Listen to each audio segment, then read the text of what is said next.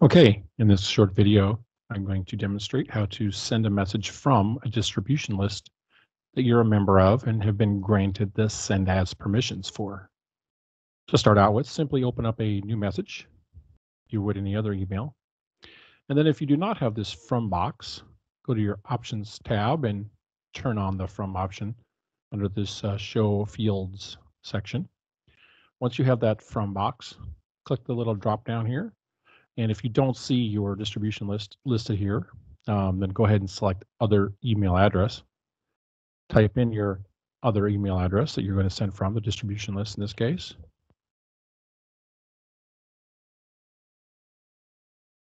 And um, if you have more than one account attached to your Outlook, you will also have an additional uh, option down here um, that shows the um, account to be used. Make sure you select your primary account in the uh, domain that you're interested in.